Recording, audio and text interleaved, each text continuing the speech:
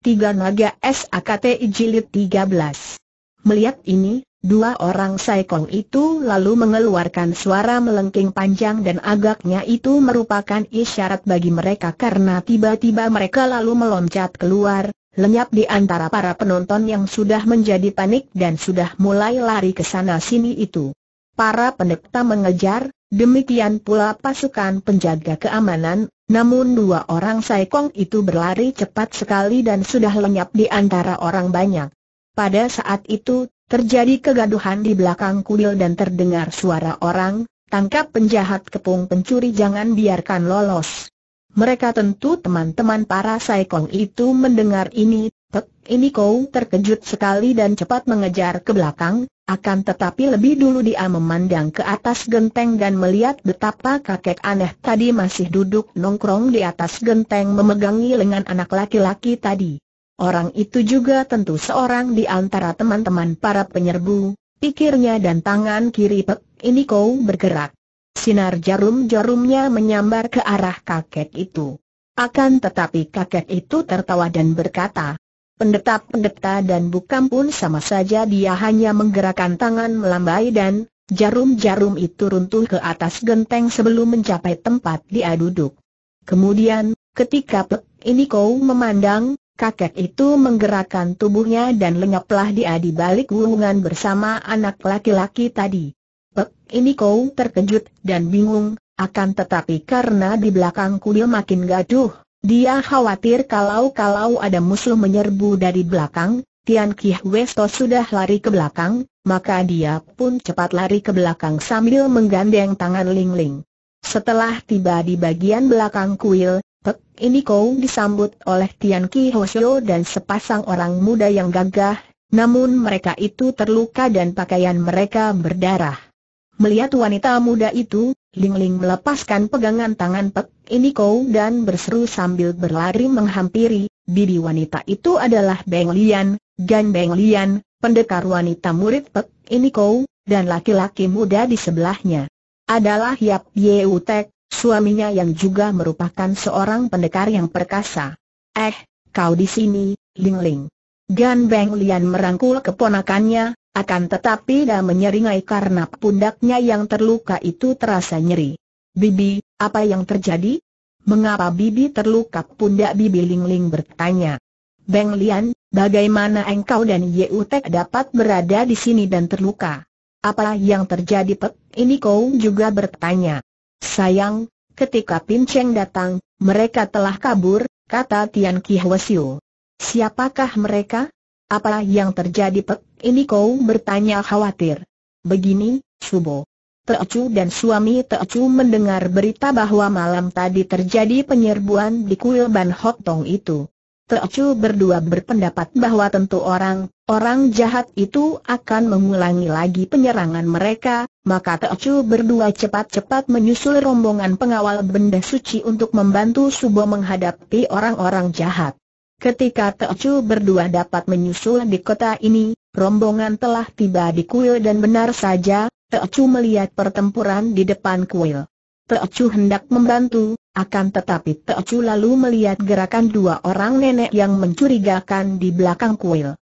Teocu berdua lalu mengejar mereka dan ternyata mereka itu hendak memasuki kuil dari belakang dan mereka telah merobohkan beberapa orang prajurit penjaga.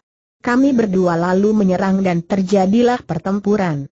Akan tetapi, dua orang nenek itu benar-benar amat liai, Subo, hem, kalian kalah dan terluka oleh mereka tanya Pek, ini kau dengan hati khawatir.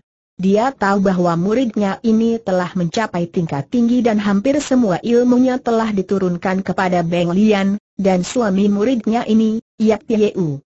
Tek juga bukan seorang lemah dan bahkan sedikit lebih lihai dari muridnya karena pemuda ini adalah murid terkasih dari Tiong San Lokai, kakek pengemis sakti yang dikenalnya dengan baik. Akan tetapi mereka telah dikalahkan dan terluka oleh dua orang nenek itu. Mereka hebat sekali, Lo Chiam Pual, kata Yap Pie Utek. Kami menggunakan pedang dan mereka menghadapi kami dengan tangan kosong saja. Namun, dalam belasan jurus saja kami telah terluka oleh tamparan tangan mereka yang mengandung hawa tajam, seperti serangan senjata tajam saja. Kalau tidak cepat datanglah suhu ini, mungkin kami berdua akan celaka, Tian Ki Hosio berkata, Omi Tohut, Tian masih melindungi Ji Wing Hiong yang membela kebenaran. Agaknya Pin Cheng sendiri bukan lawan mereka, akan tetapi mereka merasa gentar ketika datang banyak orang dan mereka melarikan diri. Suci, mereka sungguh hebat dan melihat gerakan mereka, agaknya mereka tidak kalah lihai dibandingkan dengan dua orang Saikong tadi. Pek, ini kau mengangguk-angguk lalu menghampiri Beng Lian, merobek sedikit baju di pundak muridnya dan memeriksa luka itu. Luka itu memang hebat, seperti luka bacokan golok saja, untung tidak melukai tulang dan juga agaknya tidak beracun. Demikian pula luka di pangkal lengan kanan yang diderita Utek tidak terbahaya. Bibi, engkau harus menolong Su Heng tiba-tiba Ling Ling yang memandang ke kanan kiri dan ke atas mencari-cari, berkata sambil menarik tangan bibinya. Su Hengmu. Siapa? Mengapa dia Su Heng Tan Sian Lun? Tadi dia datang bersamaku, akan tetapi dia, dia ditangkap oleh seorang kakek iblis yang berada di atas genteng. Tolonglah dia, bibi dia telah pergi, kata Pek, ini kau. Kakek itu lihai bukan main, jarum-jarumku tidak mampu mendekatinya dan dia pergi bersama anak itu. Akan tetapi, Tini masih sangsi apakah dia itu kawan dari gerombolan penjahat. Betapapun, harus kita cari dia, siapa tahu masih berada di atas wuwungan setelah berkata demikian, Pek, ini kau lalu meloncat naik ke atas genteng diikuti oleh Tian Ki Hwasyu. Kau jaga Ling Ling. Aku akan ikut mencari kata Utek kepada istrinya dan dia pun meloncat ke atas genteng. Beng Lian tinggal di bawah dan mendengarkan penuturan Ling Ling tentang hilangnya murid ayah ibunya yang bernama Choa Ginsan di waktu terjadi keributan di kelenteng malam tadi, dan betapa ayah bundanya pergi menyusul ke sarang Im Yang Pai yang berada di pegunungan Tai Hang San. Kemudian bercerita tentang dia dan Sian Lun yang tadi melibat Pek ini kau terdesak sehingga mereka berdua mencoba untuk membantu nenek itu yang mengakibatkan terculitnya Sian Lun mendengar penuturan itu, Beng Lian mengerutkan alisnya. Keparat, pikirnya. Orang-orang Im Yang Pai itu benar-benar jahat dan harus dibasmi, bukan saja memusuhi pemerintah dan agama Buddha, akan tetapi juga menyusahkan keluarga kakaknya dan telah melukai dia dan suaminya. Sementara itu, Pek ini kau yang dibantu oleh Tian Ki Hosio, Yak Yeu Tek, juga beberapa orang perwira pengawal yang berloncatan naik ke atas genteng, tidak berhasil menemukan kakek aneh yang tadi melarikan Sian Lun bahkan bayangan atau jejaknya saja tidak nampak. Setelah mencari-cari di atas genteng rumah-rumah dan tidak melihat apa-apa terpaksa mereka turun dengan hati khawatir. Peristiwa keributan yang terjadi berbareng dengan usaha pengacauan terhadap penyambutan benda suci ini jelas merugikan keluarga kakakku. Jangan-jangan mereka itu adalah musuh-musuh kakak Yeng Hon, Kali Beng Lian Pini kira tidak demikian, kata Pek, ini kau menjawab kata-kata muridnya. Yang jelas, mereka itu memang menentang pawai untuk menghormati benda suci, dengan kata lain, mereka itu menentang dan memusuhi agama Buddha. Adapun kedua orang anak murid dan keponakan, Gan Sichu terjadi karena kebetulan saja, karena anak-anak itu berani melawan mereka dan mencoba menggagalkan usaha mereka, luka-luka di pundak Beng Lian dan pangkal lengan Yeutek tidak terbahaya. Setelah diobati, Beng Lian lalu mengantarkan Ling Ling pulang. Anak itu tidak menangis, akan tetapi wajahnya pucat dan dia selalu merasa gelisah kalau mengingat akan dua orang suhengnya yang lenyap. Karena Ling Ling tidak ada temannya, maka Beng Lian dan suaminya bermalam di rumah kakaknya yang ditinggal pergi oleh penghuninya itu. Juga Pek Ini Kau setelah menyelesaikan urusannya di kuil Ban Hok Tong, lalu menyusul ke rumah Gan Beng Hon di mana mereka bertiga mengadakan perundingan sendiri. Pihak musuh itu amat liai, antara lain Pek Ini Kau berkata, Dua orang Saikong tadi saja sudah memiliki kepandaian amat tinggi dan Pini sendiri bersama Sute Tian Ki Hosyo hanya mampu mengimbangi mereka. Dua orang wanita tua yang menghadapi kalian itu, melihat betapa dengan tangan kosong saja mereka menghadapi pedang kalian dan membuat kalian terluka, kiranya memiliki kepandaian yang tidak kalah lihainya dari dua orang Saikong itu. Menurut Sute Tian Ki Hosio pembesar setempat yang telah melaporkan hal itu ke kota raja, bermaksud mengirim pasukan untuk menyerbu Im Yang Pai, Pini dan Sute akan memperkuat pasukan itu, juga mewakili agama untuk minta pertanggungan jawab pihak Im Yang Pai, kalau memang benar mereka yang melakukan penyerangan itu.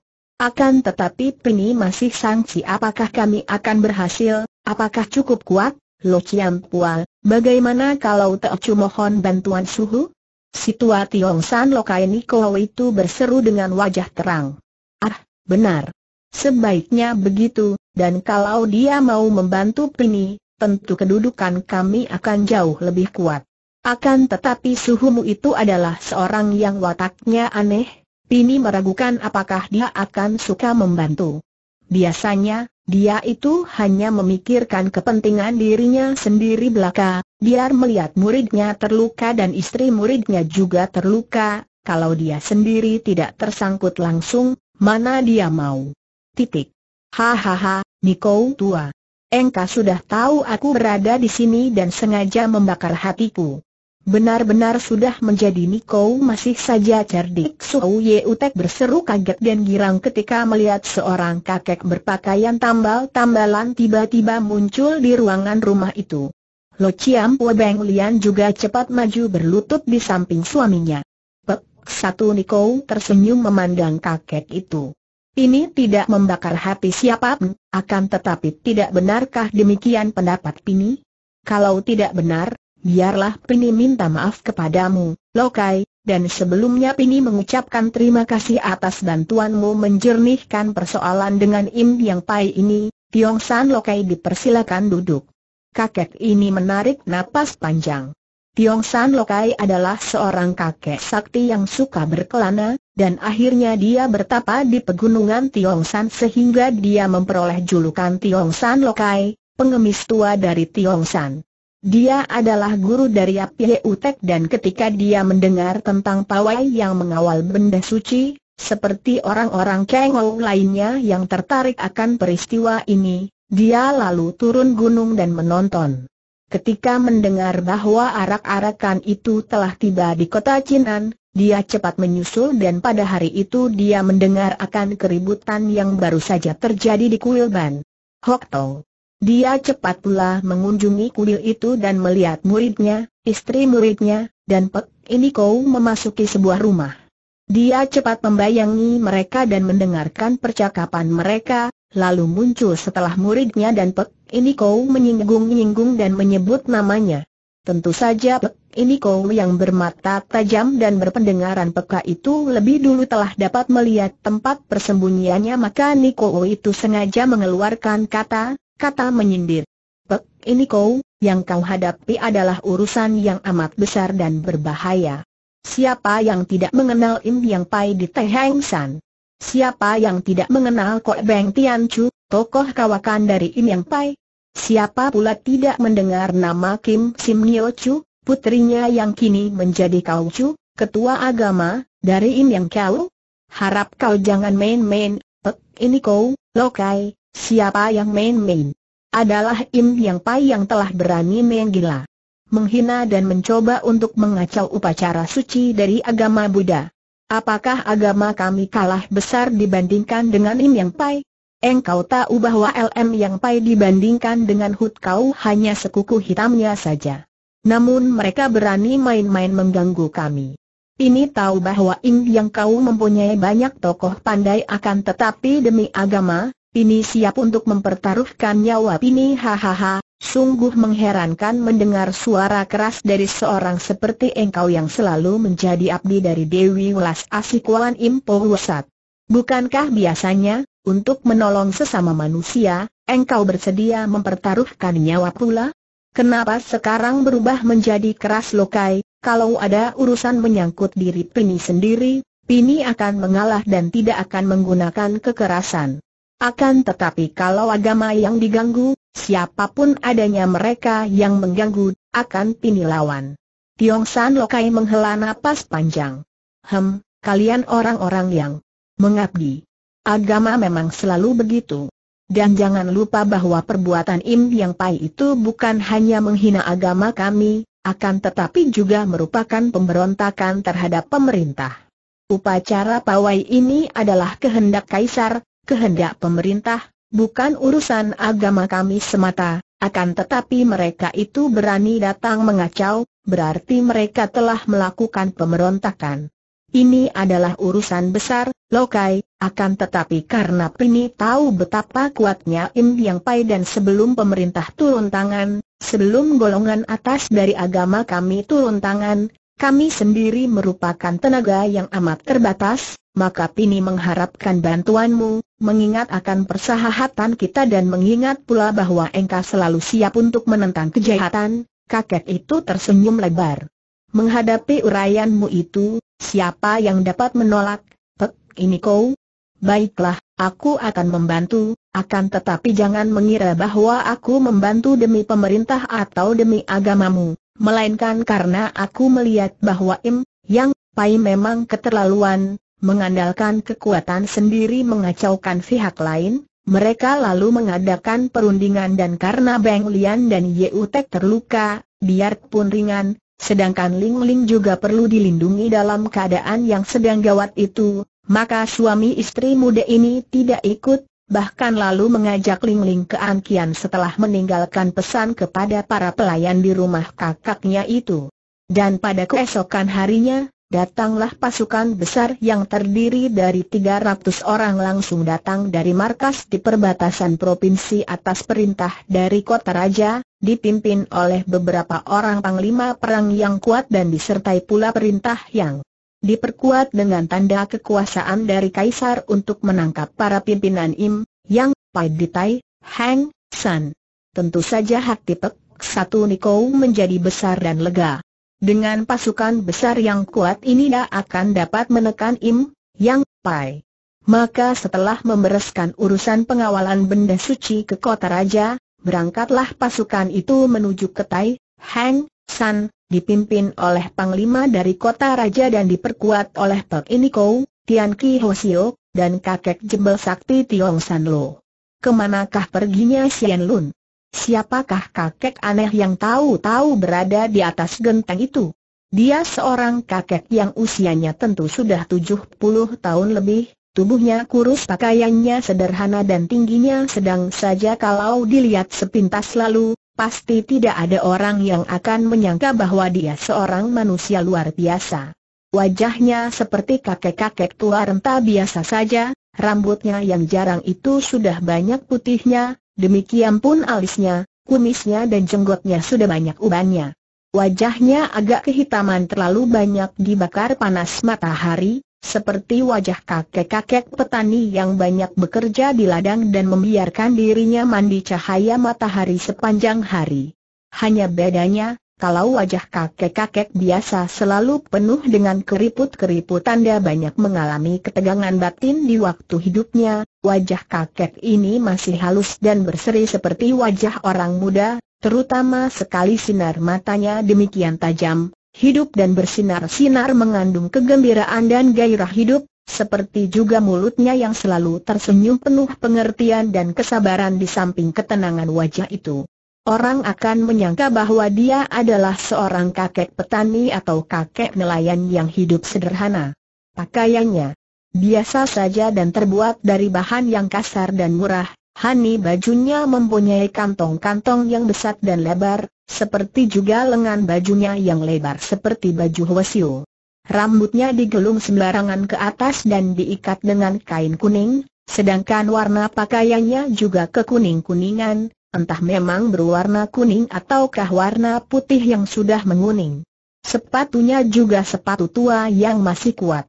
Ketika Sian Lun terancam bahaya dan diserang oleh seorang di antara dua saikong itu dan agaknya tidak ada jalan keluar bagi anak itu yang terancam maut, tiba-tiba saja dia disambar oleh sinar hitam dan terangkat naik ke atas genteng. Sinar hitam itu adalah sabuk panjang berwarna biru, sabuk yang dipakai oleh kakek tua renta itu dan dipergunakan untuk menyelamatkan Sian Lun. Biarpun Sian Lun masih kecil dan dia terkejut setengah mati ketika tahu-tahu pinggangnya disambar oleh sinar hitam dan tubuhnya tahu-tahu meluncur ke atas genteng, namun dia adalah keponakan dan murid suami istri pendekar dan dia tahu bahwa kakek aneh ini telah menyelamatkannya. Dia menengok dan melihat kakek yang sederhana itu tersenyum kepadanya, karena dia duduk di atas genteng yang miring, maka dia tidak berani banyak bergerak, Hans membungkuk dan berkata, Lo Chiam Pual, Teocu menghaturkan terima kasih atas pertolongan Lo Chiam yang telah menyelamatkan Teocu dari bahaya, kakek itu tertawa, matanya bersinar-sinar, wajahnya berseri dan dia memandang wajah anak itu dengan penuh selidik, penuh perhatian dan penuh kagum. Kau anak baik, hem, siapakah namamu? Nama Teocu Tan Sian Lun, dan harap Lo Chiam suka menurunkan Teocu lagi karena Teocu harus menolong Sumoi dan anak perempuan itu Sumoimu.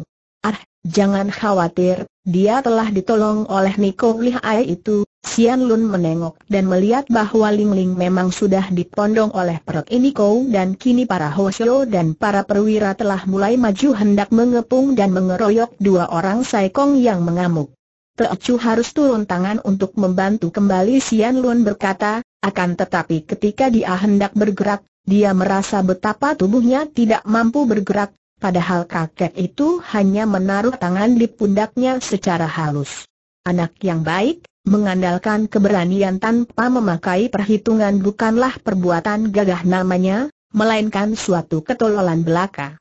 Tenagamu sama sekali tidak dibutuhkan di bawah itu. Pula, mereka itu adalah manusia-manusia boneka yang bukan menjadi manusia lagi melainkan menjadi boneka dan alat dari agama dan kepercayaan masing-masing. Apakah engkau hendak ikut-ikut, engkau yang masih bersih dan wajar ini Sian Lun terkejut ketika mendapat kenyataan bahwa tubuhnya sama sekali tidak mampu bergerak, dan kini dia heran mendengar kata-kata itu. Dia tidak mengerti, maka dia lalu memandang wajah itu. Kagetlah dia melihat dua mata yang mencorong seperti matu naga dalam dongeng, yang membuatnya silau sehingga dia cepat mengalihkan pandang matanya ke bawah, lalu dia bertanya, apa maksud Lo Ciampu hahaha, engkau ingin tahu? Anak yang baik, melihat sepak terjangmu tadi, aku tahu bahwa engkaulah anak yang pantas untuk menjadi pewaris semua ilmu yang pernah kupelajari, maka aku merasa sayang melihat engkau hampir tewas oleh ancaman Saikong itu. Engkau ingin tahu apa yang kumaksudkan dengan kata-kataku tadi? Marilah kau ikut bersamaku dan engkau akan tahu lebih banyak lagi. Sian Lun mengerutkan alisnya. Akan terapi, dia teringat bahwa dia adalah murid dari paman guru dan bibi gurunya. Akan tetapi peristiwa yang dilihatnya tadi membuat dia sadar bahwa tingkat kepandaian paman guru dan bibi gurunya itu sebenarnya belum berapa tinggi. Padahal tadinya dia menganggap bahwa kepandaian mereka yang juga menjadi guru-gurunya itu sudah tak dapat diukur lagi tingginya. Kini, dia melihat sendiri betapa Pek ini kau, yang kabarnya adalah guru dari adik kandung supeknya, yang menurut supeknya memiliki kepandaian yang tinggi sekali, ternyata terdesak oleh Saikong itu. Dan juga para tosu yang menyerbu kuil malam tadi pun berkepandaian tinggi sehingga supeknya menyatakan kekhawatirannya dan berkata betapa lihainya orang-orang Im Yang Pai, dan kini, dia telah diselamatkan oleh seorang kakek yang luar biasa pula. Betapa banyaknya orang pandai di dunia ini dan ternyata jelas olehnya bahwa tingkat kepandaian suami istri yang menjadi guru-gurunya itu belum tergolong tingkat yang tinggi. Tentu saja dia tidak bisa begitu saja meninggalkan guru-gurunya dan ikut bersama kakek yang belum dia kenal ini, akan tetapi ada pula keinginan menyelinap di dalam hatinya untuk menjadi orang yang pandai, yang kelak akan dapat menghadapi orang-orang jahat seperti para pengacau itu. Pada saat itu, Pek ini Kou yang telah gagal merobohkan atau menangkap dua orang saikong yang melarikan diri, menyerang kakek di atas genteng itu dengan jarum-jarumnya yang biasanya amat lihai dan sukar untuk dihindarkan oleh lawan yang lihai sekalipun. Akan tetapi, Kakek ini dengan amat mudah menggerakkan tangan dan Sian Lun merasa ada hawa pukulan dahsyat menyambar ke depan dan meruntuhkan jarum-jarum itu. Kemudian, sebelum dia tahu apa yang terjadi, tiba-tiba saja tubuhnya sudah meluncur cepat dari atas genteng itu seolah-olah dia telah diterbangkan oleh angin yang dahsyat. Lo Chiam Pual, harap berhenti, Sian Lun berkata terengah-engah karena angin membuat dia sukar bernapas. Dia berseru demikian ketika melihat betapa dia sudah meluncur sampai keluar dari kota Cinan, melalui dinding tembok kota yang sunyi karena semua orang agaknya pergi menonton penyambutan benda suci di kuil Ban Hok Tong itu. Kakek itu berhenti dan melepaskan Sian Lun setelah dia meloncat turun ke atas tanah di luar tembok kota. Sian Lun lalu menjatuhkan diri berlutut di depan kakek itu yang berdiri sambil tersenyum, sedikit pun tidak kelihatan lelah padahal kakek itu tadi telah berloncatan seperti terbang saja cepatnya. Lo Chiam Pual, harap Lo Chiam Pual maafkan Teocu, akan tetapi tidak mungkin Teocu dapat ikut pergi bersama Lo Chiam Pual, hem, mengapa tidak dapat? Engkau berbakat dan engkau penuh semangat engkau berwatak pemberani dan tidak suka melihat kejahatan. Apa engkau tidak suka mempelajari ilmu-ilmu tinggi untuk memperlengkapi dirimu menjadi seorang pendekar bukan demikian, Lo Chiampul? Teocu akan berterima kasih apabila Lo Chiampul sudi membimbing Teocu. Akan tetapi, Teocu tidak mungkin berani meninggalkan rumah Supek dan Supek Bol begitu saja. Mereka adalah guru-guru Teocu, juga pengganti orang tua Teocu, dan mereka kini sedang pergi, Teocu diharuskan melindungi Sumoi dan, Sumoimu sudah aman di tangan Niko itu dan siapakah guru-gurumu itu? Apakah mereka lebih hebat daripada Niko itu? Tidak, tidak selihai Pek ini kau, akan tetapi, mana berani Teocu pergi begitu saja tanpa pamit? Hendaknya Lo Chiampu ketahui bahwa sejak bayi Teocu telah dirawat oleh mereka sehingga boleh dibilang Teocu adalah anak mereka pula. Kakek itu mengangguk-angguk. Bagus. Engkau mengenal budi dan engkau berbakti. Akan tetapi lepas dari semua itu, jawablah apakah engkau suka menjadi muridku Sian Lun memang amat kagum kepada kakek ini. Ketika menolong dia, ketika meruntuhkan jarum-jarum pek ini kau, ketika membawanya lari keluar kota, semua itu membuktikan bahwa kakek ini benar-benar memiliki kesaktian hebat, tidak kalah oleh Pek Iniko dan tentu saja jauh lebih lihai dari paman dan bibi gurunya. Tentu saja dia akan suka sekali menjadi murid kakek ini, maka dia menjawab sejujurnya. Teocu suka sekali, akan tetapi Teocu harus bertanya dulu dan minta perkenan dari Supek dan Supek Bo, hem, katakan siapa nama mereka dan di mana mereka tinggal mereka tinggal di kota Cinan itu, Lo Chiampul. Nama Supek adalah Kan Beng Hon Supek Bo adalah semuanya dan mereka adalah murid-murid dari Sukong Luisian Lojin, ah, hahaha, kiranya engkau cucu murid dari Luisian Lojin yang bertapa di puncak KWI Hoasan. Hahaha, sungguh aneh, sungguh kebetulan sekali. Kiranya masih segolongan sendiri. Kau tahu siapa Luisian Lojin? Dia adalah murid keponakanku, Sian Lun terkejut setengah mati mendengar ini, dia sendiri belum pernah melihat Luisian Lojin kakek gurunya itu yang oleh Supek dan Supek Bonya dikabarkan sebagai seorang manusia setengah dewa yang tinggi sekali ilmunya. Akan tetapi, ternyata Sukongnya itu malah murid keponakan dari kakek ini. Dengan demikian, kakek ini adalah kakek buyut gurunya. Maka dia cepat memberi hormat dan menyentuh tanah di depan kakek itu dengan dahinya. Sucou katanya. Hahaha, mulai sekarang engkau adalah muridku dan engkau menyebut suhu kepadaku. Ketahuilah, Sian Lun. Bahwa selama hidupku baru sekarang ini aku menerima murid. Suhenku pun hanya mempunyai seorang murid yaitu Luisian Lojin itulah.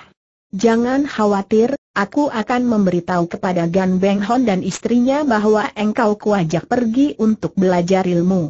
Bagaimana caranya? Supek dan Supek Bo sedang pergi, kata Sian Lun Sangsi. Kakek itu menoleh ke kanan kiri dan melihat sebatang pohon besar di tepi jalan. Kau nantilah aku di bawah pohon itu sebentar, jangan pergi ke mana pun sebelum aku kembali. Aku akan meninggalkan pesan di rumah supekmu, baik, suhu, kata Sian Lun dengan agak kikuk karena ia harus menyebut guru kepada kakek buyut itu. Setelah melihat anak itu duduk di bawah pohon, kakek itu lalu berjalan pergi kembali ke arah kota Chin An.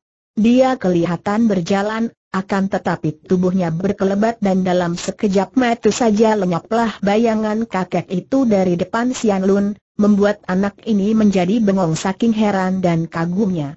Makin terkejut dan heranlah hati Sian Lun ketika tak lama kemudian, bayangan kakek itu sudah berkelebat datang dan tahu-tahu telah berdiri di depannya sambil tersenyum. Haha mereka tidak akan terkejut dan marah kepadamu kalau pulang dan melihat suratku di atas meja dalam kamar mereka, hampir Sian Lun tidak dapat percaya bahwa waktu yang amat singkat itu dapat dipergunakan oleh kakek ini untuk pergi pulang pergi ke rumah supeknya dan meninggalkan surat dalam kamar supeknya itu. Agaknya kakek itu dapat melihat keraguan di hati Sian Lun dia tersenyum dan berkata, Sian Lun, kelak engkau akan tahu bahwa apa yang telah kulakukan ini bukan apa-apa dan tidak perlu dibuat heran. Ketahuilah bahwa ada berita baik mengenai Sumoimu. Sumoimu itu telah dibawa pergi oleh bibinya ke kota Angkian dalam keadaan selamat. Bibinya? Lo Chiam Pua, eh, suhu maksudkan bibi Gan Beng Lian benar, aku melihat mereka semua di sana, Sumoimu itu, Pek, ini kau, Bibi Sumoimu yang katanya adalah murid Pek ini kau, suaminya, dan aku melihat wajah yang ku kenal baik, seorang pendekar jembel yang amat baik, yang berjuluk Tiong San Lokai. Sumoimu akan dibawa pergi ke Angkian dalam perlindungan bibi dan pamannya, sedangkan Pek ini kau bersama Tiong San Lokai akan membantu pasukan yang akan menyerbu Im Yang Pai, Haha orang-orang gila itu sungguh hanya akan membuat kacau dunia saja dengan segala dendam dan permusuhan mereka, Sian Lun makin terkejut. Jadi suhu, bertemu dan bicara dengan mereka tentang Pecu kakek itu menggeleng kepalanya. Tidak aku tidak mengganggu mereka. Melihat mereka sedang asik berunding, aku diam-diam memasuki kamar paman gurumu dan meninggalkan sedikit catatan bahwa engkau ikut pergi bersamaku, Sian Lun makin kagum. Bukan hanya kecepatan suhunya ini luar biasa, akan tetapi juga suhunya telah dapat memasuki kamar supeknya tanpa diketahui orang, padahal di rumah itu terdapat demikian banyaknya orang lihai. Hal ini saja sudah membuktikan betapa kakek ini benar-benar amat luar biasa. Memang kakek itu bukanlah orang sembarangan. Dia adalah seorang sakti yang tidak mau menonjolkan namanya di dunia Kang Ou. Berbeda dengan suhengnya yang berjuluk Bu Eng Lojin, orang tua tanpa bayangan, yang membuat nama besar di dunia Kang Ou dan baru setelah tua sekali Bu Eng Lojin mengundurkan diri bertapa di KWI Hoasan di mana dia mengambil seorang murid yang kemudian mewarisi kepandaiannya dan menjadi pendekar terkenal pula, yang setelah berusia 60 tahun juga menjadi pertapa di puncak KWI Hoasan, yaitu Luisian Lojin. Kakek ini selalu menyembunyikan diri hidup di kalangan rakyat jelata yang miskin, kadang, kadang dia hidup sebagai seorang petani di pegunungan, hidup tentram dan tenang penuh kedamaian, bergulat dengan tanah dan air, bergembira dengan tanam-tanaman.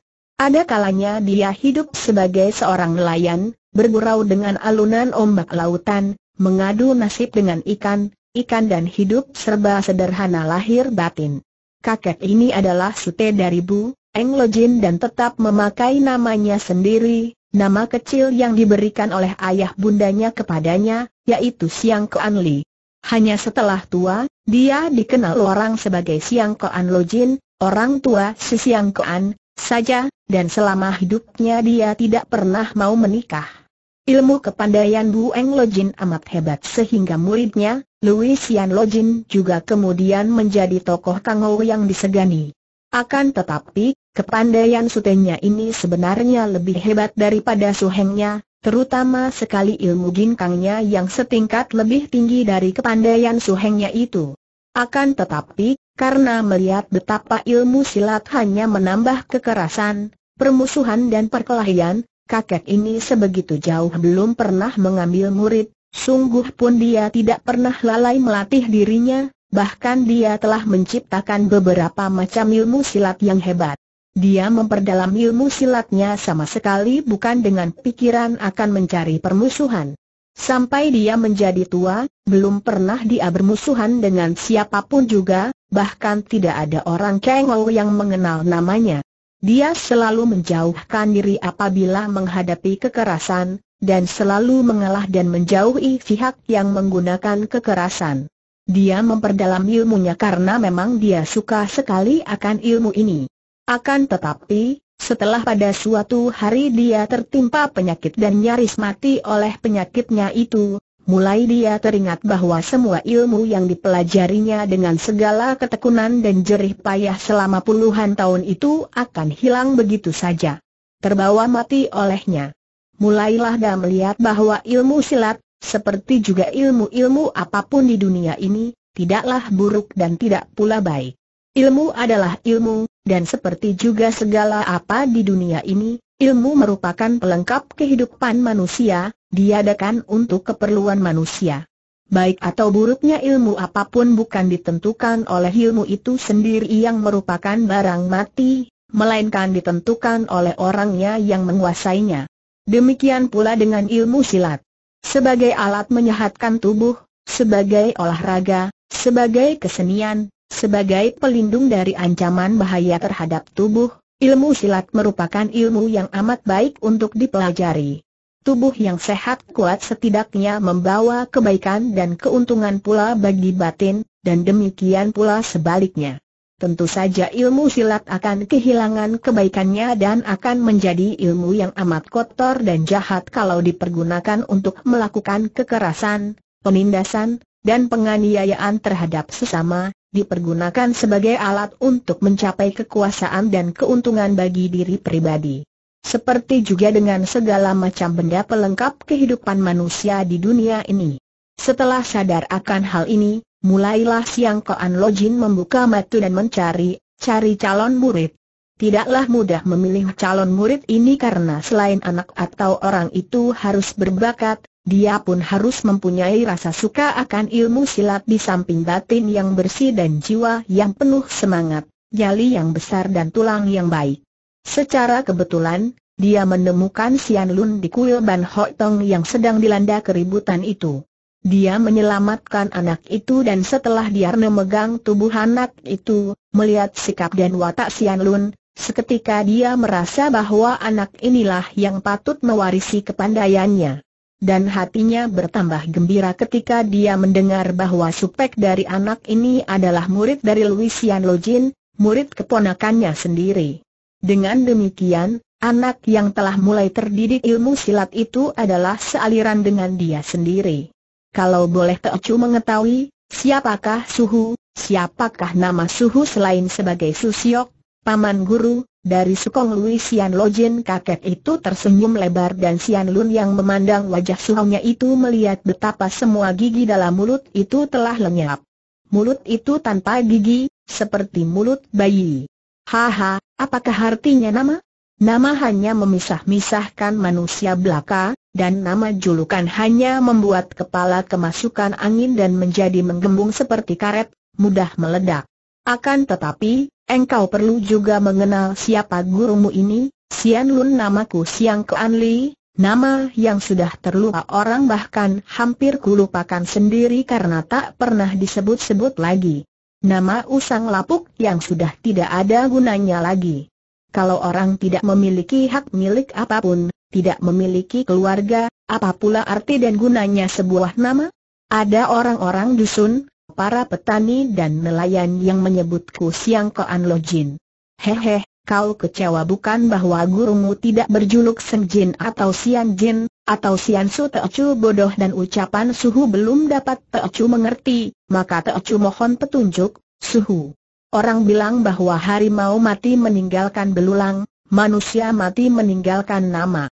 Bukankah hal itu menjadi bukti bahwa nama amatlah penting sehingga kita perlu menjaganya dengan baik sehingga kalau kita mati kelak, nama kita masih akan dipuji-puji sebagai nama yang terhormat dan berharga hahaha kakek itu tertawa bergelak sambil memegangi perutnya.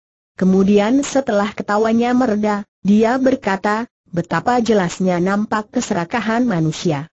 Ucapanmu itu merupakan penyakit umum yang diderita oleh manusia di seluruh dunia, muridku.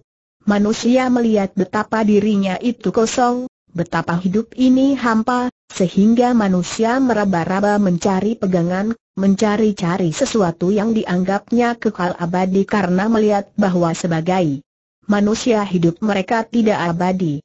Dan satu di antara obat yang mereka pergunakan adalah nama itulah, dalam usaha mereka agar hidup terus, biar hanya nama. Orangnya boleh mati, akan tetapi namanya harus hidup terus, hidup dengan terhormat manusia tidak lagi berusaha untuk mengerti hidup, untuk mengisi hidup, melainkan selalu berusaha untuk mementingkan diri sendiri, sejak hidup sampai mati. Bahkan setelah mati pun ingin menjadi yang terhormat. Gila hormat, mabok kesenangan, serakah, penuh dendam dan benci, penuh iri hati dan persaingan, itulah manusia. Sampai mati pun telah diaturnya, tanah yang baik, kuburan yang baik untuk mayatnya, lalu tempat yang baik untuk yang dinamakan arwahnya, dan tempat terhormat untuk namanya. Wah wah, berabe Sian Lun menjadi bingung. Tentu saja anak berusia 10 tahun ini masih belum dapat menangkap apa yang dimaksudkan oleh kakek itu. Semenjak kecil Sian Lun mempelajari kebudayaan dan peradaban dari kitab-kitab yang mengajarkan tata susila, sopan santun, kegagahan dan jiwa pahlawan, contoh-contoh yang dianggap sebagai terhormat dan mulia dalam pergaulan masyarakat. Kini dia mendengar hal-hal yang dikemukakan oleh suhunya itu sebagai hal-hal yang amat berlawanan dengan apa yang selama ini dibacanya, maka tentu saja dia terkejut dan bingung. Namun, ada sesuatu di dalam hatinya yang terbuka, yang membuat dia dapat melihat kenyataan dan tidak dapat membantah kebenaran apa yang dikemukakan oleh suhunya itu dan dia terheran-heran. Demikianlah, semenjak saat itu, Sian Lun ikut gurunya merantau, ke gunung-gunung, ke hutan-hutan, ke tepi-tepi laut, hidup sebagai petani, sebagai nelayan bahkan kadang-kadang sebagai pengemis, bebas merdeka seperti burung di udara, dan setiap waktu terluang dipergunakan untuk berlatih ilmu silat. Dia diharuskan mulai lagi dari permulaan, diajarkan dasar-dasar ilmu silat, pasangan kuda-kuda, langkah-langkah kaki, melatih otot-otot dan pernapasan. Mengumpulkan hawa murni dan melatih sinkang semua petunjuk suhunya ditaatinya dan memang anak ini amat rajin sehingga suhunya merasa puas sekali sungguh pun hal itu tidak pernah diutarakannya, baik melalui ucapan atau melalui sikapnya yang acuh tak acuh. In Yang Pai merupakan sebuah perkumpulan yang besar dan pusat mereka yang berada di lereng pegunungan Tai Hang San juga amat luas. Sebenarnya, perkumpulan itu didirikan oleh para pemeluk agama In Yang Kau, suatu agama tua yang tidak berapa banyak pengikutnya. Akan tetapi karena agama itu erat sekali hubungannya dengan ilmu kebatinan dan ilmu silat, maka perkumpulan itu menjadi sebuah perkumpulan yang amat kuat dan di dalamnya terdapat tokoh, tokoh berilmu tinggi yang sekaligus juga menjadi tokoh-tokoh agama Im, yang kau bangunan-bangunan besar yang dikelilingi dinding yang berwarna putih dan tinggi sudah nampak dari kaki gunung Tai Hang San, merupakan kompleks kuil yang amat luas, memiliki perkebunan sayur sendiri, bangunan-bangunan untuk para anggotanya, pendeknya merupakan semacam perkampungan besar di mana tinggal tidak kurang dari seratus orang anggota Im Yang Pai. Memang banyak pula para penganut Im, yang kau yang tidak masuk menjadi anggota Im Yang Pai, yaitu mereka yang tidak suka akan ilmu silat, karena Im Yang Pai adalah perkumpulan dari ahli-ahli silat di mana diajarkan ilmu-ilmu silat yang khas dari Im Yang Pai, Im Yang Kau adalah satu di antara aliran-aliran kebatinan yang banyak terdapat di Tiongkok, sebagai peninggalan zaman dahulu, di zaman kerajaan Hon, abad kedua dan pertama sebelum Masehi. Sesungguhnya, aliran-aliran itu merupakan perpecahan-perpecahan dari agama, agama besar seperti agama Hukkau, Buddhisme, Konghucu, Confucianisme, Taoisme dan agama-agama yang datang dari Sitian, negara barat, yaitu India. Perpecahan-perpecahan ini menjadi banyak, sampai belasan macam yang membentuk aliran-aliran sendiri sesuai dengan selera kepentingan mereka. Akan tetapi yang terbesar adalah enam macam aliran, yang merupakan perpecahan dari agama-agama besar Buddhisme, Confucianisme, dan Taoisme, yaitu aliran kebatinan atau agama Ju yang sesungguhnya adalah penerus pelajaran-pelajaran dari Nabi Kongcu. Aliran ini mendukung adanya kekuasaan feodal, menganggap kaisar sebagai Chin Beng Tianchu, putra Tuhan, dan segi-segi kehidupan diatur dengan Li, aturan, yang dijiwai dengan Jin, peri kemanusiaan, dan Gi, keadilan. Inilah aliran pertama. Aliran kedua menamakan dirinya aliran Mo yang menganggap Moti sebagai nabinya. Aliran ini menganjurkan cinta kasih antar manusia dan menggantungkan segala kepada nasib karena mereka percaya bahwa segala sesuatu telah ditentukan oleh langit atau Tuhan. Mereka menentang segala macam pesta dan upacara yang memboroskan, menentang perang kecuali kalau untuk mempertahankan diri. Mereka adalah penganjur-penganjur apa yang mereka namakan cinta semesta. Aliran ketiga adalah aliran kebatinan Tao yang menganggap Locu sebagai nabinya. Aliran ini menganjurkan penyatuan diri manusia dengan Tao, jalan, yang sukar diartikan secara jelas karena memang tidak dapat diuraikan menurut faham mereka. Tao yang menggerakkan segala-galanya, maka faham Tao ini menentang segala usaha manusia yang dianggap merusak dan menyelewengkan pengaruh dan daya kerja Tao. Aliran Tao inilah yang banyak dimasuki segala macam ilmu kebatinan dari yang klemik sampai yang dianggap setinggi-tingginya, banyak mempunyai pertapa-pertapa dan banyak pula menciptakan bermacam macam latihan samadhi, yoga dan pernapasan banyak ilmu silat bercampur dengan ilmu kebatinan dari aliran Tao ini sehingga melahirkan jagoan-jagoan ilmu silat yang memiliki kepandaian amat hebat dan mentakjubkan. Aliran keempat adalah aliran Beng, Ming.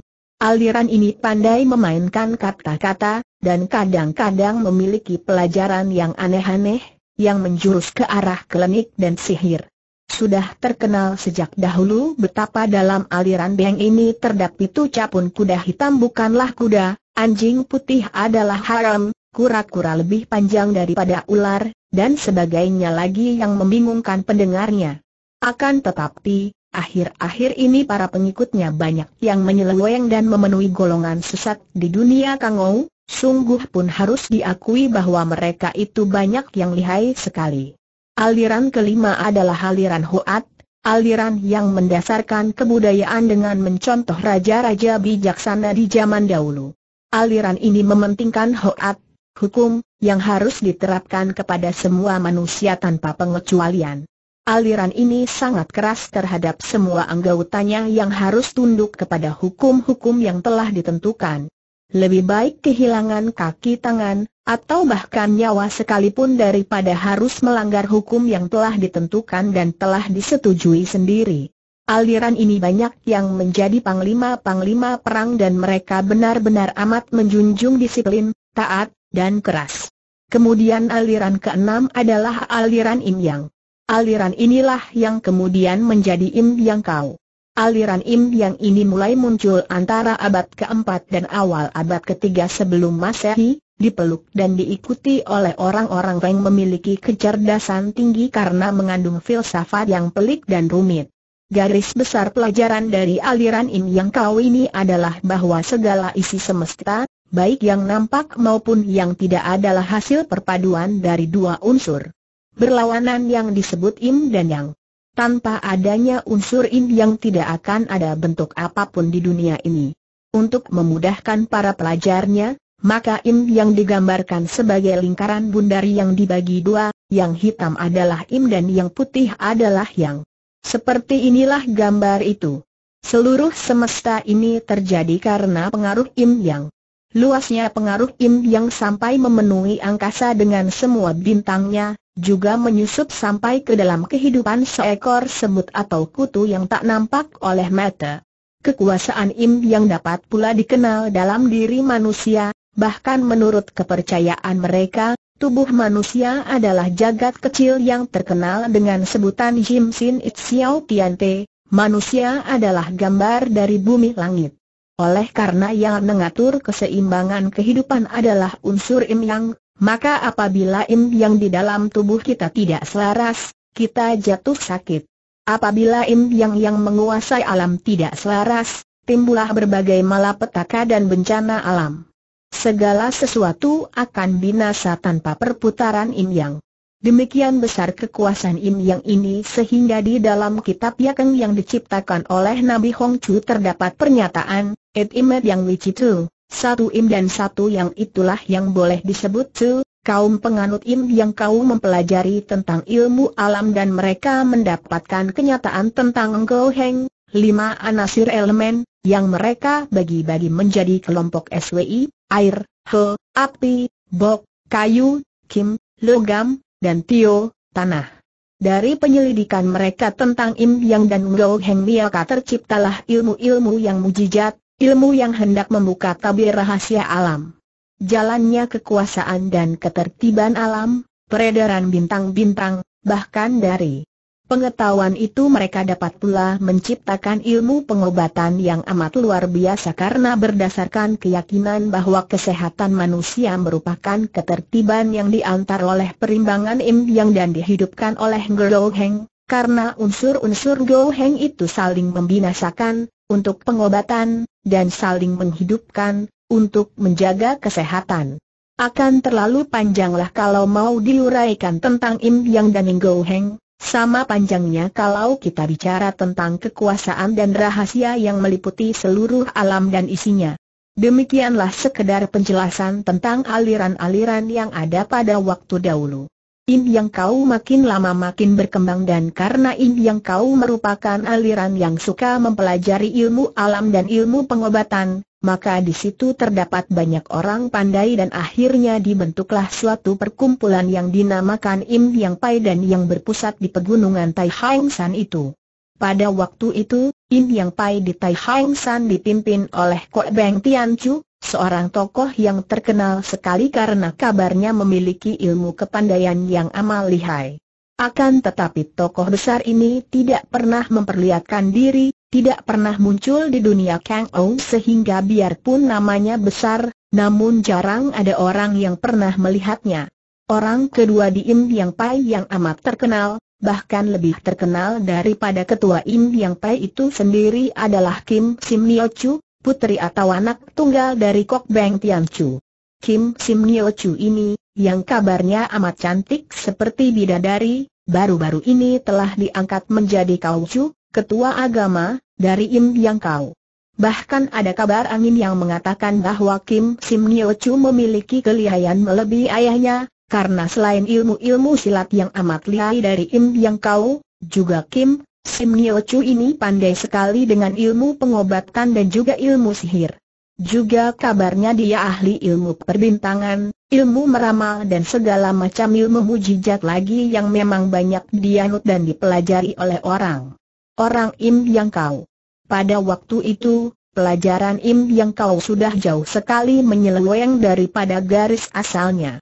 Kini agama itu, seperti juga hampir semua agama di dunia ini, lebih mengutamakan duniawi, sepentingan diri pribadi dan kepentingan golongan, daripada kepentingan pelajaran tentang hidup dan menghayati pelajaran itu di dalam kehidupan. Betapa menyedihkan kenyataan tentang agama ini di dalam dunia kita, di antara manusia seperti yang dapat kita saksikan sekarang ini. Betapa manusia saling bertengkar, saling membenci, saling bermusuhan karena agama. Bahkan betapa manusia sampai tega untuk saling membunuh demi agama. Sungguh merupakan suatu kenyataan yang amat pahit. Agama apa pun juga melarang kita untuk membenci, melarang kita bermusuhan, namun demi agama kita saling benci, saling bermusuhan dan saling bunuh. Sesungguhnya, semua agama di dunia ini adalah untuk manusia, akan tetapi kenyataannya sekarang ini, Manusia sudah merosot sedemikian rendahnya sehingga tidak ada harganya lagi sehingga sekarang keadaannya menjadi terbalik, bukan agama untuk manusia melainkan manusia untuk agama. Demi agama, manusia saling bunuh. Mengapa demikian? Karena manusia tidak mau mengenal diri sendiri, karena manusia hanya memandang agama, bukan memandang manusia, karena faktor manusia dilupakan, karena bukan manusia lagi yang penting melainkan agama.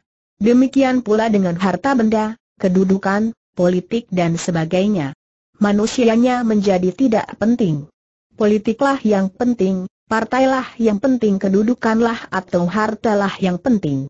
Kalau sudah begitu, manusia saling bermusuhan saling bunuh untuk memperebutkan kemenangan politik, partai, kelompok, ras, bangsa, kedudukan dan harta, atau juga memperebutkan kemenangan dan kebenaran agama masing-masing Kok Beng Tiam Chu memaklumi bahwa perkumpulannya kini merupakan perkumpulan yang cukup besar dan berpengaruh bukan untuk faham dan kepercayaan mereka, melainkan untuk tingkat ilmu kepandaian silat mereka dan juga sikap para anggotanya yang selalu menjaga diri agar berdiri di golongan putih kaum pendekar.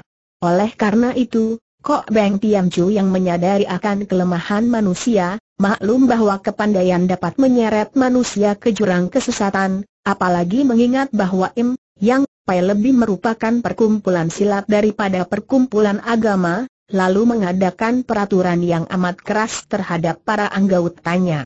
Setiap orang anggotanya, dari tingkat empat ke atas harus selalu membawa sebuah lencana im yang pai sebagai tanda pengenal diri sehingga di mana pun anggota itu berada, kalau dia melakukan perbuatan yang melanggar hukum im yang pai, tentu akan dikenal orang dan akan dapat dihukum oleh perkumpulan. Hari itu sunyi saja di lereng Tai Hang San. Perkumpulan Im Yang Pai nampak sunyi biarpun matahari telah naik tinggi. Dan memang para anggota Im Yang Pai yang berpakaian seperti Tosu itu suka akan keadaan sunyi dan hening sehingga di tempat itu jarang terdengar kegaduhan, kecuali kalau mereka sedang berlatih ilmu silat. Bahkan para anak buah tingkat rendah yang bertugas jaga di sekitar tembok perkampungan mereka itu, bukan berdiri memegang tombak atau senjata lain seperti umumnya penjaga, melainkan mereka duduk bersila dan bersamadi untuk melatih pernapasan atau melatih sinkang. Namun, mereka yang duduk bersama di dalam penjagaan ini sesungguhnya memusatkan perhatian kepada sekeliling tempat itu sehingga jangan mengira bahwa mereka itu tidur nyenyak dan jangan coba-coba untuk berani menyelinap masuk karena pasti akan diketahui oleh mereka. Memang banyak di antara anak buah dan tokoh-tokoh Im Yang Pai yang tidak berada di situ, pergi keluar daerah untuk berbagai urusan, baik urusan perkumpulan maupun urusan pribadi. Kesunyian lereng Gunung Tai Hang San itu terasa sekali oleh suami istri pendekar yang mempergunakan ilmu. Berlari cepat mereka mendaki lereng. Mereka adalah Gan Beng Hon dan Kui Eng, suami istri pendekar dari Chin An yang mendatangi Im Yang Tai untuk mencari murid mereka yang hilang terculik, yaitu Choa Gin San dilihat dari jauh, suami istri ini gagah perkasa dan amat mengagumkan. Gan Beng Hon yang sudah berusia 30 tahun itu masih nampak muda perkasa dan gagah, tahi lalat kecil di tengah dahinya menambah kegagahan, pakaiannya sederhana ringkas, pedangnya tergantung di punggung sebagaimana biasa pendekar melakukan perjalanan jauh, sepasang matanya yang bersinar tajam itu kini penuh pengertian dan jelas mengandung kesabaran dan ketenangan, juga dalam langkahnya yang panjang-panjang dan cepat itu membayangkan ketenangan seorang pendekar yang matang. Kui Eng, istrinya yang dua tahun lebih muda dari suaminya itu, masih nampak cantik jelila seperti seorang gadis saja, dengan pakaian yang rapi. Gelang di lengan kiri dan hiasan rambut merupakan satu-satunya perhiasan yang menempel di tubuh. Pedangnya juga tergantung di punggung dan pandang matanya tajam bersinar-sinar membayangkan kelincahan, langkahnya pendek-pendek namun cepat sekali sehingga kedua kakinya sukar diikuti pandangan mata saking cepatnya. Istriku, harap kau berhati-hati dan jangan memperlihatkan permusuhan sebelum kita tahu betul apakah benar Ginsan mereka culik, kata Beng Han. Baiklah, biar engkau saja yang membuka percakapan dengan mereka, istrinya menjawab. Gerakan mereka cepat sekali dan akhirnya mereka tiba di pintu gerbang tembok perkampungan Im Yang Pai. Di atas pintu itu tergantung sebuah papan putih yang ditulisi dengan huruf-huruf berwarna hitam dan di tengah-tengahnya terdapat gambaran lingkaran bundar simbol Im Yang, dan tiga huruf besar hitam itu berbunyi, IM Yang Pai. Biarpun sederhana saja gambar dan tulisan itu, persis seperti gambar yang terlukis dan tertulis pada lencana yang pernah dilihat oleh Beng Hon di kuil Ban Hok Tong, namun papan nama itu menimbulkan wibawa yang menyeramkan. Ketika Beng Hon dan Kui Eng melihat seorang laki-laki berusia 50 tahun lebih, duduk bersila di tengah-tengah pintu gebang, di atas batu datar, bersila sambil meletakkan kedua tangan di depan dada, yang kanan di atas dan yang kiri di bawah, dengan sikap seperti kedua tangan itu sedang membawa sesuatu, yang di atas menelungkup dan yang di bawah terlentang, suami istri itu berhenti dan memandang. Kakek itu sedang samadi dan kedudukan kedua tangan itu melambangkan kedudukan Im Yang. Kedua matanya terpejam dan napasnya teratur rapi, Bang Hon memberi isyarat kepada istrinya lalu dia melangkah maju, menjura dan berkata dengan sikap hormat, saya Gan Beng Hon bersama istri, datang dari kota Chin An mohon bertemu dengan Pangcu dari Im Yang Pai karena penjaga itu bersama di hanya untuk melewatkan waktu sedangkan perhatiannya tidak pernah terlepas dari penjagaan, dia segera membuka mata. Sebelum tamu itu tadi membuka suara pun dia sudah tahu akan kedatangan pria dan wanita gagah ini. Cepat dia merubah kedudukan kedua tangan. Dengan tubuh masih duduk bersila, Kini kedua tangannya dirangkap di depan dada sebagai tanda menghormat. Lalu dia berkata, Sian Chai, harap Jiwi tidak terlalu sungkan karena saya hanyalah seorang penjaga biasa, seorang anggota tingkat enam yang rendah. Long Hyong adalah seorang tua, sudah sepatutnya menerima penghormatan kami yang muda. Tentang tingkat, kami kira itu tidak menjadi ukuran untuk penghormatan seseorang. Tiba-tiba penjaga itu tertawa bergelak dan suami istri itu terkejut. Dari suara ketawa ini saja mereka tahu bahwa yang bersila di situ bukanlah orang sembarangan, suara ketawanya nyaring dan mengandung getaran yang amat kuat, tanda bahwa orang ini telah memiliki hikam yang kuat. Dan orang ini mengaku, tingkat enam. Kalau yang tingkat enam selihai ini, apalagi yang tingkat tiga, dua atau satu. Hahaha, manusia haruslah bersikap sesuai dengan tingkat masing-masing, kalau tidak demikian, mana mungkin ada ketertiban?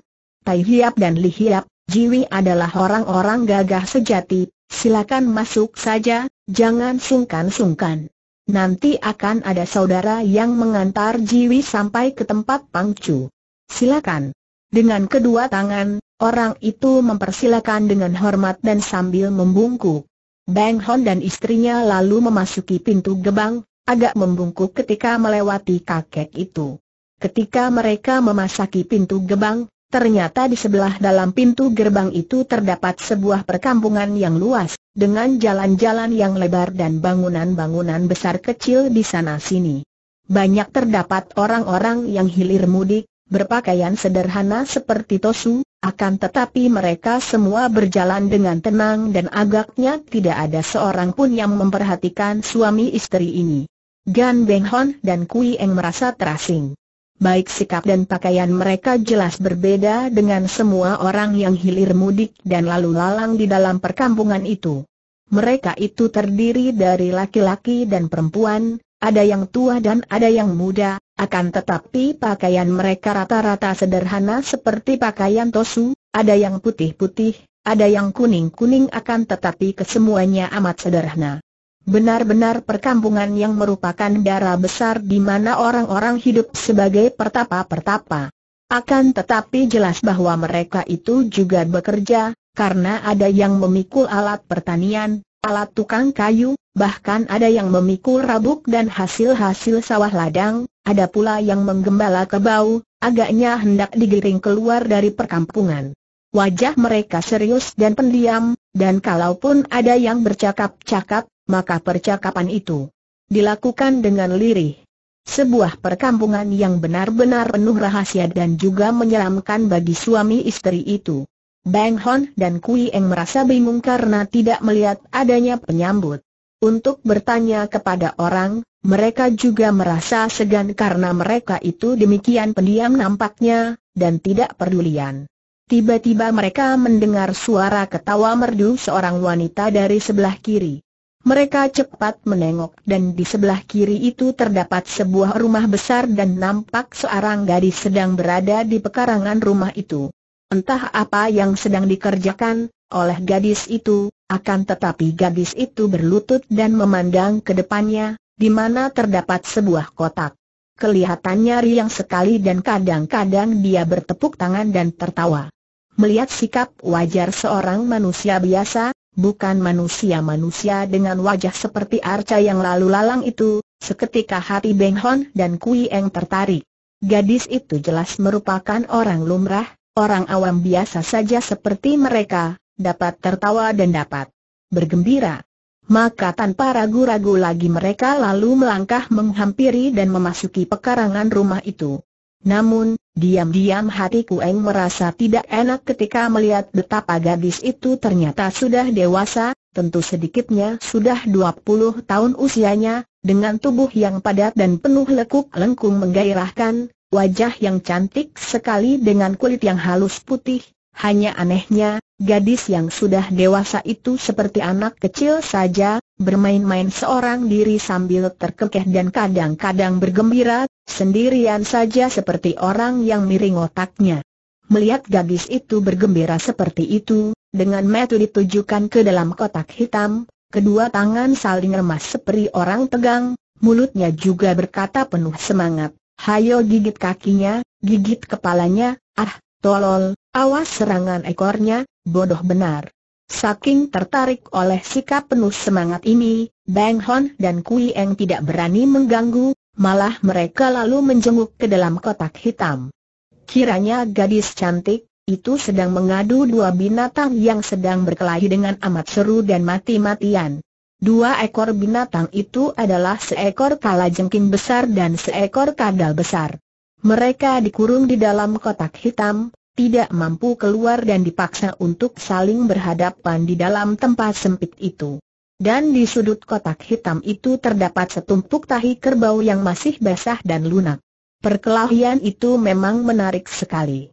Kalajengking yang kehitaman itu berdiri dengan gagah, dengan kaki terpentang di kanan kiri, Capit yang dua buah itu siap untuk mencapit lawan dari depan, akan tetapi yang lebih gagah lagi, ekornya diangkat ke atas, melengkung ke depan dengan ujung siap untuk menyengat.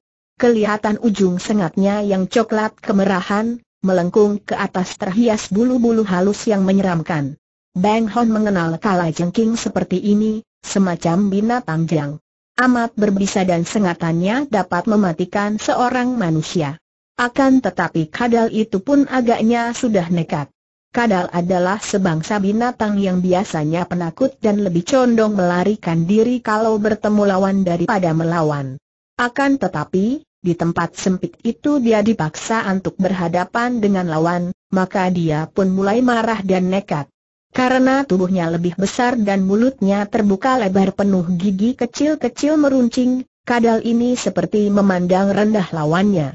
Dengan gerakannya yang amat cekatan, seperti seekor ular karena memang dia sebangsa ular berkaki empat, kadal itu menubruk ke depan dan membuka mulut menggigit untuk kesekian kalinya, tidak memperdulikan capitan kala jengking itu yang mengenai pinggir mulutnya.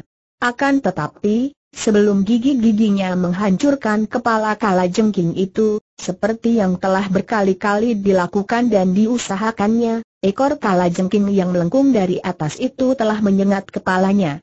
Krut kadal itu melepaskan gigitannya, mundur-mundur dan menggoyang-goyang kepalanya, seperti setan arak yang sedang mabok, terus mundur dan tiba-tiba dia memasukkan kepalanya ke dalam tumpukan tahi kerbau yang lunak basah dan dingin sejuk itu. Nyes sejenak dia membenamkan kepalanya ke dalam tahi kerbau itu, agaknya merasakan kenikmatannya, kemudian dicabutnya kepalanya itu dan dia sudah menjadi segar kembali. Entah sudah beberapa kali dia tadi menggigit, disengat dan membenamkan kepala di dalam tahi kerbau sampai kepalanya menjadi kehijauan berlepotan tahi kerbau, akan tetapi juga kepala dan perut kala jengking itu sudah mulai luka-luka. Pertandingan dilanjutkan dan kadal yang tidak melihat jalan lari itu memberanikan diri maju lagi. Cap kadal menggigit. Cus kala jengking menyengat. Nyes kadal membenamkan kepala di dalam tahi kerbau lagi. Wah, kau tolol. Kenapa membiarkan kepalamu menjadi bulan-bulanan sengatan kala jengking gadis itu mengomel? Lama-lama kepalamu akan meledak karena keracunan. Dan kau, sungguh menjijikan, kau curang, menyengat dengan cara bersembunyi, menyembunyikan ekor di belakang dan menyengat dari atas curang menjijikan, sungguh pun jurusmu itu hebat dan boleh ditiru. Tidak adil ini, kau harus menggunakan capitmu dan tidak boleh menyerang dari belakang gadis itu lalu mengambil kala jengking itu dengan tangan kiri. Hampir saja Beng Hon berteriak mencegah. Dia sudah mengenal kala jengking jenis itu yang amat berbahaya. Sekali menyengat, Nyawa gadis ini dapat direnggut akan tetapi Kui Eng memberi isyarat agar dia jangan mencampuri. Suami istri itu hanya memandang saja. Akan tetapi, ketika kala jengking itu menggerakkan ekornya untuk menyengat jari tangan yang memegangnya, dengan tenang gadis itu lalu menggunakan kuku jarinya, jari telunjuk dan ibu jari, untuk mematahkan ujung ekor yang mengandung sengat itu. Krek ekor itu patah ujungnya dan gadis itu lalu melemparkan kala jengking kembali ke dalam kotak hitam. Melihat ini, Kui Eng menjadi marah. Gadis itu kejam bukan main. Curang. Kejam tak terasa lagi nyonya muda ini berseru. Kui Eng adalah seorang pendekar wanita yang semenjak muda menjadi pembela keadilan. Melihat pertarungan antara Kala Jengking dan Kadal, dia sebetulnya sudah berpihak kepada Kala Jengking yang termasuk binatang yang lebih kecil dan dia tahu, kalau tidak diserang, tidak mungkin Kala Jengking itu menyerang Kadal. Binatang Kala Jengking bukanlah binatang buas. Sengatnya yang berbahaya itu hanya dipergunakan kalau keselamatan dirinya terancam. Manusia pun tidak mungkin disengat Kala Jengking kalau dia tidak mengganggunya baik disengaja maupun tidak. Kalau terinjak atau tertimpa, barulah kala jengking menggunakan sengatnya tidak ada kala jengking yang tanpa sebab menyerang manusia atau binatang lain. Maka, pihak yang tidak bersalah dan lebih kecil itu kini dipatahkan sengatnya, satu-satunya senjatanya pelindung diri, tentu saja Kui Eng menjadi marah. Akan tetapi gadis itu tidak memperdulikan, bahkan mengangkat muka pun tidak dan dia sudah melihat lagi ke dalam kotak hitam. Kini kadal itu menyerang lagi dan si kala jengking juga memapaki dengan capitannya, kemudian ekornya melengkung dan menyengat. Akan tetapi karena ujung ekornya sudah patah, sengatnya telah lenyap, maka ekornya itu hanya menyentuh, nyentuh kepala kadal seperti membelai saja. Gigitan kadal makin hebat dan akhirnya badan kala jengking menjadi terkoyak, koyak dan dimakan oleh si kadal. Ihaha, keji kembali Kui Eng berseru sebelum suaminya dapat mencegah. Wanita muda itu kini mengangkat muka memandang, Kui Eng terkejut. Gadis itu memang cantik bukan main, cantik manis, akan tetapi sepasang matanya mengeluarkan sinar aneh dan tajam seperti kilat menyambar, seperti ada sinar berapi yang panas dan yang langsung menembus dada menjenguk isi hati. Dan wanita itu kini berdiri, tubuhnya tinggi semampai, pinggangnya ramping sekali dan tubuhnya mempunyai lekuk lengkung yang sempurna dan menggairahkan, padat menonjol penuh sifat kewanitaan yang menantang dan merangsang. Namun, semua itu ditutup pakaian yang aneh, seperti pakaian pertapa atau pendeta. Baru sekarang nampak oleh suami istri pendekar ini bahwa gadis itu memakai pakaian serba putih dengan ikat pinggang hitam, potongannya kebesaran seperti jubah pendeta namun karena terbuat daripada sutra halus maka begitu menempel tubuh lalu mencetak bentuk tubuh itu dengan ketatnya. Di Bagian dada dan punggung dari baju putih itu terdapat lukisan im yang terbuat dari benang emas dan rambutnya yang digelung ke atas itu terhias oleh ratna mutu manikam yang dibentuk seperti bulatan im yang pula. Hidungnya kecil mancung, agak menjungat ke atas sehingga mendatangkan kemanisan yang khas dan lucu mulutnya agak lebar dengan bibir yang penuh dan merah, Kedua pipinya juga kemerahan ketika sepasang metu yanu tajam indah itu menyambar ke arah Gan Beng Han. Lalu wanita itu tersenyum dan sepasang bibir yang merah basah itu merekah, nampaklah deretan gigi putih berkilau, akan tetapi hanya sebentar saja dan mutiara-mutiara putih itu telah lenyap lagi di balik daging berkulit tipis merah yang menggairahkan itu. Begitu gadis itu bangkit berdiri, memandang dan tersenyum, seketika wajah suami istri itu kelihatan terkejut bukan main. Ah, kiranya engkau Kui Eng berseru dan wajahnya berubah agak pucat, lalu menjadi merah sekali engkau yang kau Sugan Beng Hon berdiri dengan mata terbelalak, Lalu mukanya menjadi merah sekali, merah sampai ke lehernya. Teringat dia akan pengalamannya yang menyeramkan kurang lebih sembilan tahun yang lalu, ketika istrinya akan melahirkan Ailing. Malam yang menyeramkan itu kini terbayang di depan matanya. Ketika itu sudah tiba waktunya istrinya melahirkan kandungannya dan seorang bidan sedang menunggunya untuk melenyapkan kegelisahan hatinya karena dia tidak diperbolehkan mendekati istrinya oleh Seng Bidan, dia berlatih silat di Lian Butia sambil terus mendengarkan suara dari dalam kamar itu. Dia mendengar keluhan dan rintihan Kui Eng dan makin hebat istrinya merintih, makin hebat pula dia menggerakkan kaki tangan memukul dan menendang untuk menekan kegelisahan hatinya. Dan pada saat itulah muncul seorang darah cantik jelita yang mengagumi latihannya akan tetapi gadis itu lalu menyatakan cinta kepadanya, dan mengajaknya pergi dari situ. Tentu saja Beng Hon, biarpun amat kagum menyaksikan kecantikan darah itu, menjadi marah dan mengusirnya. Mereka bertanding dan ternyata amat sukar baginya untuk mengalahkan wanita itu. Kemudian, dengan uap merah yang mengebul dari sapu tangannya, wanita itu berhasil merobohkannya. Wanita itu merayunya namun tetap dia tidak sudi melayani dan akhirnya wanita itu mengancam untuk menculik anaknya yang baru terlahir. Dalam keadaan amat gelisah mengkhawatirkan keselamatan istrinya yang baru melahirkan yang kini didengarnya suara tangis bayi terlahir, Bang Hon tidak dapat menolak lagi dan dia dibawa pergi ke dalam taman di mana dia terpaksa melayani hasrat wanita itu demi keselamatan anak istrinya. Kemudian, wanita itu menghilang setelah lebih dulu menjenguk ke dalam kamar melihat Kui Eng dan anaknya seperti bayangan setan atau juga bayangan bidadari sehingga Kui Eng merasa seolah-olah mimpi dijenguk oleh bidadari. Setelah keadaan Kui Eng normal kembali, barulah Beng Hon yang berwatak jujur itu menceritakan peristiwa yang membuatnya merasa amat malu itu. Kui Eng yang berwatak keras memang mula-mula marah dan penuh cemburu, akan tetapi dia lalu sadar bahwa suaminya melakukan hal itu tentu karena terpaksa, karena tidak ingin melihat dia dan anaknya diganggu oleh iblis betina itu. Dia bergidi kalau mengenangkan betapa suaminya yang demikian lihai masih kalah oleh wanita itu yang menurut suaminya mengaku sebagai Im Yang Kaucu, ketua agama Im Yang. Peristiwa itu sudah lampau, sudah bertahun-tahun lamanya dan mereka berdua sudah melupakannya kembali. Kini, dalam usaha mencari murid mereka yang mereka duga dilarikan oleh tokoh Im Yang Pai, mereka berdua mendatangi pusat Im Yang Pai dan dengan sendirinya mereka teringat akan wanita yang mengaku sebagai ketua Im Yang Kau itu.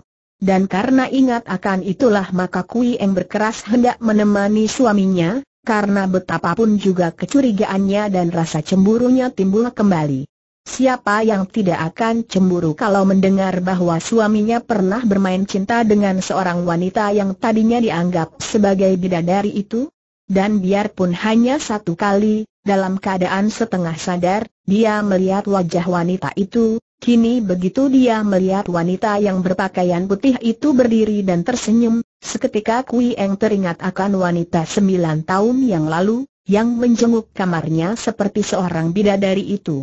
Dan tentu saja Beng Hon juga segera mengenalnya, maka jantungnya berdebar tegang dan mukanya menjadi merah sekali. Air, kiranya Gantai Hiap, pendekar besar Gan, yang datang? Apakah engkau juga rindu kepadaku seperti aku merindukanmu selama ini Teh Hiap? Betapa sering aku berjumpa denganmu dalam mimpi halus merayu suara itu sehingga Beng Hon menjadi makin merah mukanya. Dia tidak berani mengangkat muka memandang wanita itu, sedangkan di sebelahnya, Kui Eng sudah mengepal tinju dan matanya bernyala-nyala penuh kemarahan. Wanita itu memang Kim Sim Nio Chu atau Im Yang Kau Chu, ketua dari Im Yang Kau yang amat terkenal di seluruh dunia Kang Ou itu.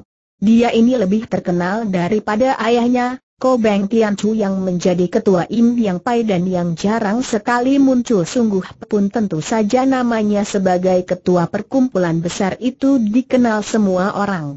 Kim Sim Nio Chu agaknya tahu akan kemarahan Kui Eng, maka dia tersenyum makin manis. Ketika Beng Hon melirik, diam-diam dia amat terheran-heran, demikian pula Kui Eng. Dahulu, ketika suami istri ini bertemu dengan Kim Sim Nio Chu sembilan tahun yang lalu, wanita ini masih muda, paling banyak berusia 20 tahun, dan kini, sembilan tahun kemudian, wajah dan tubuh wanita itu sama sekali tidak kelihatan lebih tua. Setahun pun. Masih kelihatan seperti berusia 20 tahun, atau lebih muda lagi. Hahaha, Gan Hujin, Nyonya Gan, engkau kelihatan masih cantik, sungguh pun sudah tidak segar lagi, seperti bunga mulai melayu. Tidak heran karena engkau telah melahirkan anak. Engkau tadi mencela aku dan mengatakan curang dan keji melihat aku membantu kadal. Air, engkau tidak tahu betapa kejinya kala jengking itu. Dan aku sedang mempelajari gerakannya, sungguh hebat dan keji curang lagi, suka menyerang dari belakang. Berbeda dengan kadal yang suka menyerang berhadapan. Ku pikir-pikir, sifat kadal mirip sifat suamimu, eh, gantai hiap amat jujur jantan dan, hem, menggetarkan hati wanita. Dia hebat dan, perempuan cabul tutup mulutmu Kui Eng sudah tidak dapat menahan kemarahannya lagi.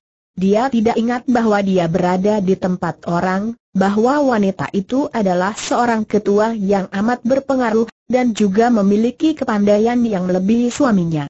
Dia lupa bahwa kedatangannya adalah untuk menyelidiki tentang muridnya yang terculik, dengan mata mendelik dan sinarnya berapi dia telah menyerang dengan tangan, yang kiri mencakar muka cantik itu karena ingin sekali dia merobek-robek wajah yang berkulit halus putih itu, sedangkan tangan kanan menusuk ke arah dada seolah-olah dia ingin mencocok keluar jantung wanita itu. Haya, sudah agak layu ditambah galak lagi, tentu engkau tersiksa di rumah Gan, Tai Hiap. Nah, kau wanita galak boleh lihat kelihayan kala jengking yang kau belah tadi wanita baju putih itu kelihatannya diam saja diserang, akan tetapi tiba-tiba dari belakangnya meluncur sinar hitam yang melengkung dari atas kepalanya, datang dari belakang persis seekor kala jengking dan tahu-tahu ujung sinar hitam itu telah menotok Kui Eng pada saat kedua tangan Kui Eng sudah berada hanya beberapa senti saja dari sasarannya. Tanpa dapat dicegah lagi nyonya muda ini mengeluh dan roboh dengan lemas. Kau Cu, ketua, mengapa engkau mengganggu istriku Gan Beng Hon menegur dengan suara penuh teguran. Wanita ini sebelum berhasil memaksanya untuk melayani hasrat hatinya dahulu telah lebih dulu berjanji tidak akan mengganggu anak istrinya. Karena percaya akan janji wanita ini pula lah yang membuat Beng Hon berbesar hati untuk menyusul muridnya yang disangkanya diculik oleh pihak Im Yang Pai. Dia pikir bahwa kalau dia dapat bertemu dengan Im Yang Kau Chu ini maka dia dapat mengingatkan wanita ini akan janjinya untuk tidak mengganggu dia dan keluarganya, sedangkan muridnya dapat pula dianggap sebagai keluarganya sendiri. Bang Hon menegur wanita itu sambil cepat menghampiri istrinya dan berusaha untuk membebaskan totokannya. Akan tetapi terkejutlah dia ketika mendapatkan kenyataan bahwa usahanya itu gagal. Kiranya wanita itu mempergunakan ilmu totokan yang berbeda sekali dengan ilmu Tiam Hiat Hoat yang biasa. Melihat ini, Kim Sim Nio Chu tertawa genit. Hai hik, gantai hiap, kau tidak akan berhasil. Ketahuilah, setiap kali seekor kala jengking menyengat, yang disengat tentu akan keracunan dan mati. Kalau aku tidak ingat kepadamu, tidak ingat bahwa dia ini istrimu, apakah kau kira dia masih bernyawa? Tidak, Tai Hiap, aku tidak mengganggu istrimu. Dialah yang menyerangku dan aku hanya ingin memperlihatkan kepadanya bahwa kala jengking bukan binatang yang patut dibelah karena curang dan keji. Jurus tadi baru saja kuciptakan dengan meniru gerakan kala jengking kalau bertanding melawan kadal. Hebat, bukan Gan Beng Hon menarik napas panjang lalu bangkit berdiri. Kau Ju, harap kau suka menyembuhkan istriku. Baik, baik, itu mudah saja. Kala jengking dapat menyengat dan meracuni, akan tetapi juga mampu menyembuhkan. Lihat saja tiba-tiba sinar hitam menyambar dan ternyata sabuk hitamnya seperti tadi telah menyambar dengan bentuk melengkung, dua kali menotok pundak dan leher Kui Eng dan Nyonya muda itu sudah dapat bergerak kembali.